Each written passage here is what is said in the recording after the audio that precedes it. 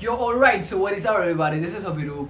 Welcome to the vlog. तो आज की वीडियो बेसिकली मेरे पेट स्नेक के बारे में होने वाले हैं। तो चलो चलते हैं एंड देखते हैं। सो गाइस बेसिकली ये है मेरा पेट स्नेक इसका नाम है इंची और ये एक बॉल पाइथन है। बेसिकली इसके मॉर्फ का नाम इंची है। तो आप देख सकते हो। और आ, इंडिया में बहुत ज़्यादा कन्फ्यूज़न है स्नेक्स को पैट रखने के मामले में। तो आप इंडिया में स्नेक्स को पैट रख सकते हो। पर आपको बस ये ध्यान में रखना है कि वो इंडियन स्पीसीज़ नहीं है। मतलब जो वो जो स्नेक है आप जो रख रहे हो वो इंडियन स्नेक नहीं होना चाहिए क्योंकि इंडियन वाइल्ड लाइफ जो है वो वाइल्ड लाइफ प्रोटेक्शन एक्ट 1972 के अंदर आ, उनको लीगल माना नहीं गया है। आप इंडियन स्नेक इंडेंजर्ड है और आप उनको रख नहीं सकते हो।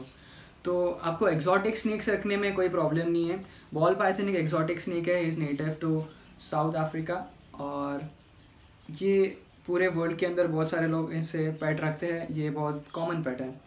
तो ये मेरे साथ जब ये टेन इंचेस का था तभी का, तभी से मेरे साथ है और अभी ये बेसिकली है around two and half three feet का। तो चलो इसके कुछ सिनेमैटिक्स देखते हैं।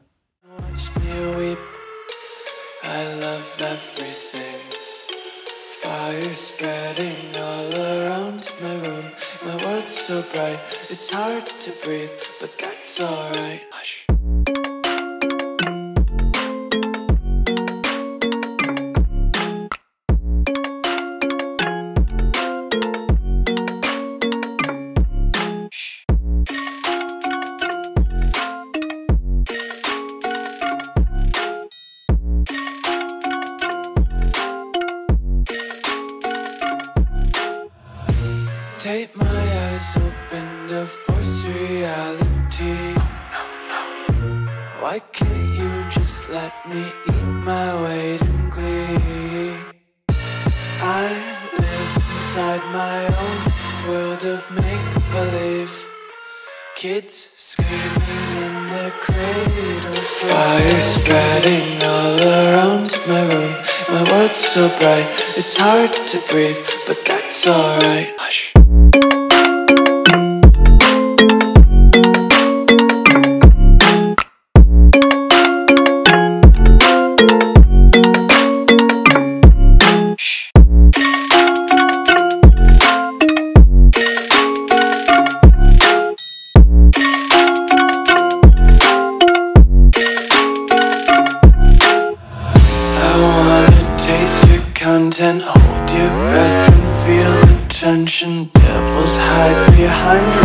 Redemption. Honesty is a one-way gate. Alright so वो थे कुछ सिनेमैटिक्स मुझे पता है कि इंची बहुत ज़्यादा ब्यूटीफुल है सो आगे बढ़ते हैं वीडियो में तो बॉल पाइथन को केयर कैसे करें या उन्हें रखे कैसे तो ये एक मेन टॉपिक है आज का वीडियो का तो if you are not in India this further information is in for you basically ball pythons को इंडिया में रखने के लिए बहुत ज़्यादा सिंपल है बहुत ज़्यादा बहुत ही ज़्यादा सिंपल है क्योंकि इन ये जो ये जो रेप्टाइल्स है ये बहुत लो मेंटेनेंस के होते हैं ठीक है?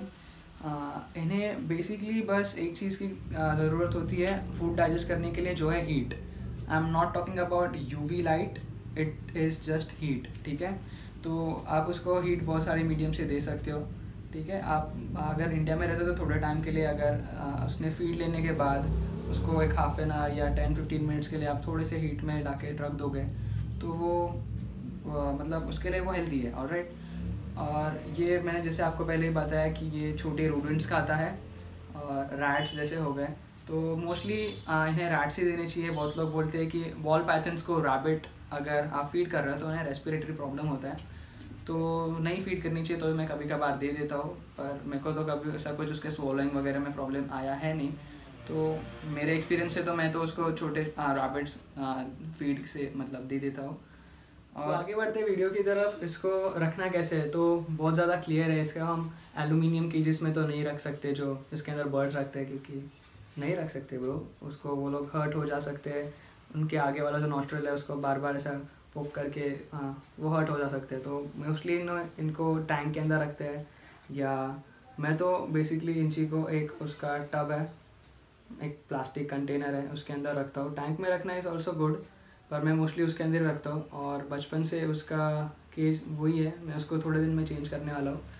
उसके अंदर बस एक वाटर बाउल रहना चाहिए और उसको छुपने के लिए कुछ जगह रहना चाहिए।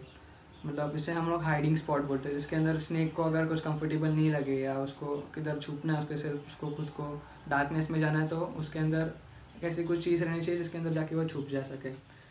तो यही थी बॉल पाइथन की केयर और इंडिया के अंदर वो लीगल है या नहीं, इसके ऊपर की एक छोटी सी वीडियो। अगर आपको वीडियो पसंद आए तो प्लीज़ लाइक, कमेंट, शेयर ज़रूर करना और बेल आइकन दबा के सब्सक्राइब करना। और बाय द वे डिस्क्रिप्शन में मेरी इंस्टाग्राम के लिंक दी है मैं बहुत सारी चीज़ें इंस्टा पे पोस्ट करते रहता हूँ इनके रिगार्डिंग तो आप उधर भी जाके मुझे फॉलो कर सकते हो।